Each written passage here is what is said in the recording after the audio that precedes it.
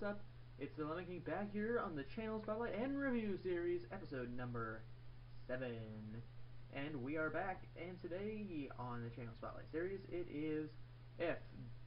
Uh, FVD Gaming.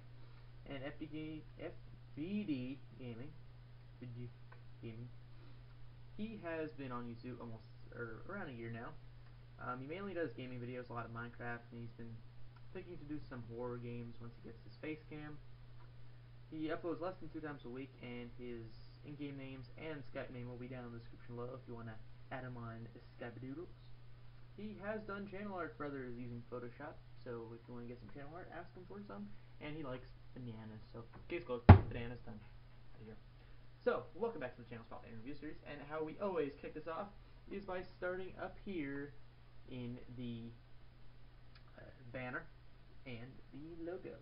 And the logo is well done, has like a Minecraft background with blue tinted and has the name on it. Pretty straightforward, and it gets the name across. Um, another thing that you do want to watch, and this is an interesting one, the color scheme you use on your logo. Basically, this color scheme, color scheme, if you look at it, it's blue and white. Sometimes when people see like a blue background, it makes them feel like different compared to red and different compared to yellow. So that's why you want to use more contrasting backgrounds. Um, it depends what kind of person you are. If you like the color blue, then normally that's going to happen like I do myself. So I don't take a mind to it. But people who, some people have different reactions to different color backgrounds. So you need to really just try to get some different color into it. But that's a strange thing. It is true, but it's kind of way out there. But you heard it here first. And the channel banner looks pretty pretty good and has a clear name, really easy to read, lightning. So let's check out the channel intro.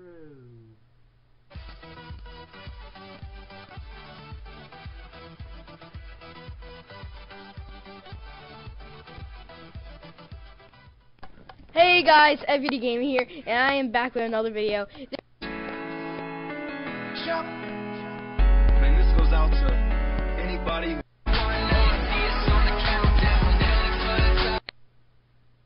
Uh, share this with your friends.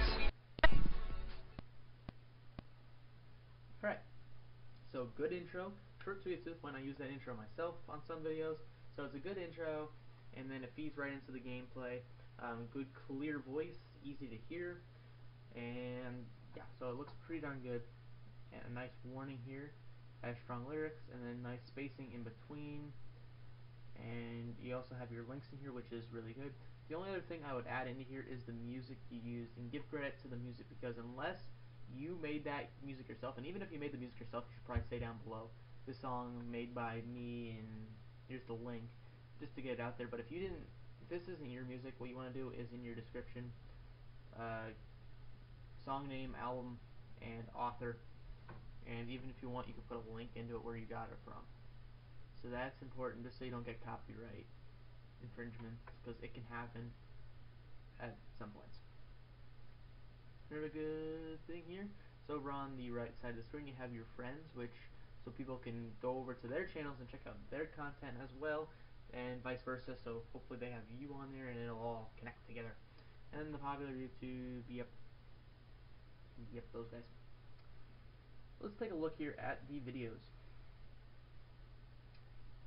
And looks like right here, it looks pretty good because you want most of them to have uh, channel thumbnails. Thumb or video thumbnails. Video thumbnails are important, so it gives people an idea of what the video is, so I don't have to look at a random video and be like, like this one. It's like, what are you gonna be talking about here? It's a little bit more challenging. Even this one, it's it's more challenging. Like, what game are you playing if you haven't seen it before? But when you look at this, it's like, oh, he's doing PvP, and it's number three, and there's murder, and there's witchcraft, and there's Mario. See, it's easier to see what's coming up. So we're gonna take a look at the PvP Monsters 3.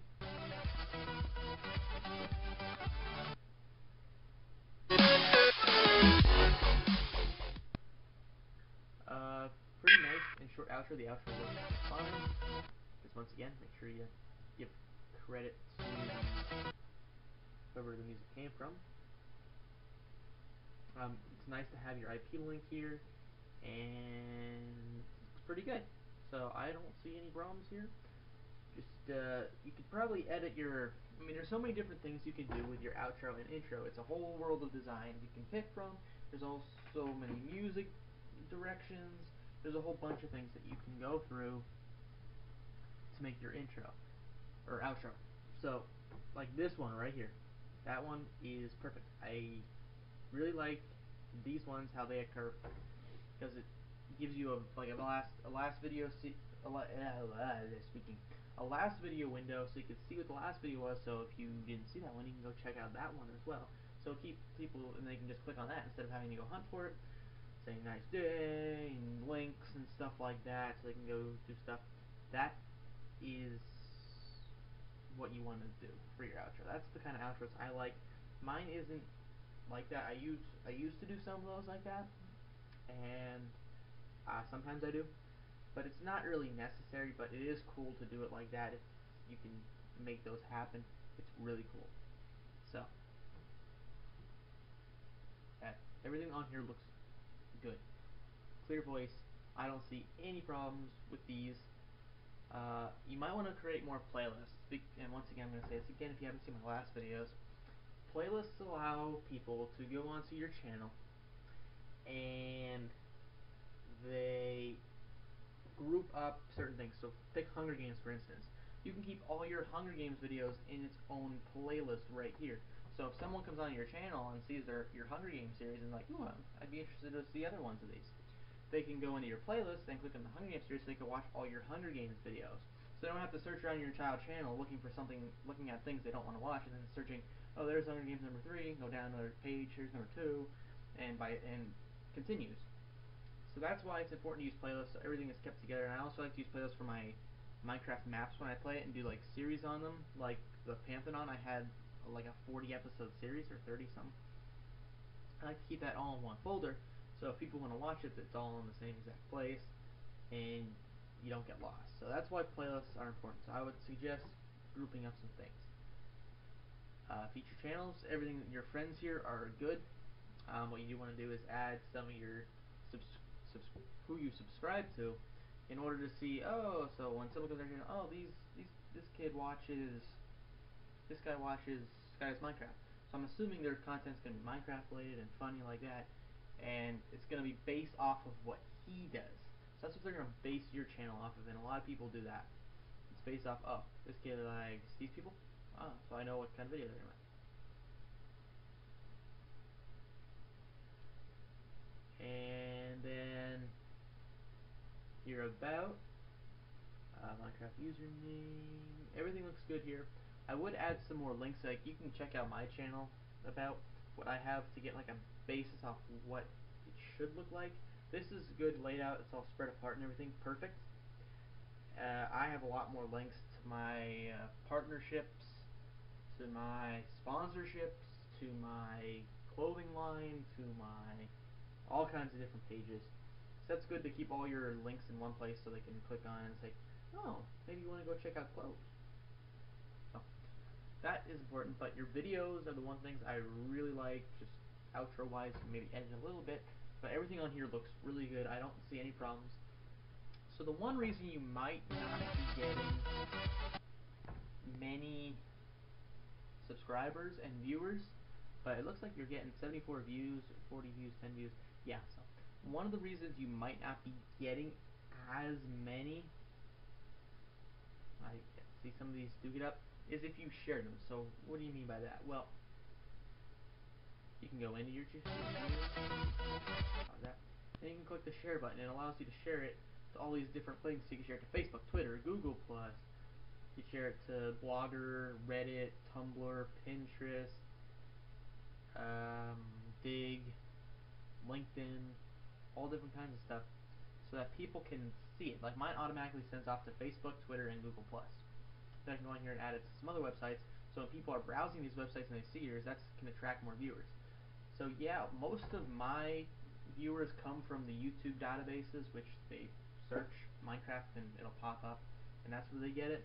but some do come from outside website links.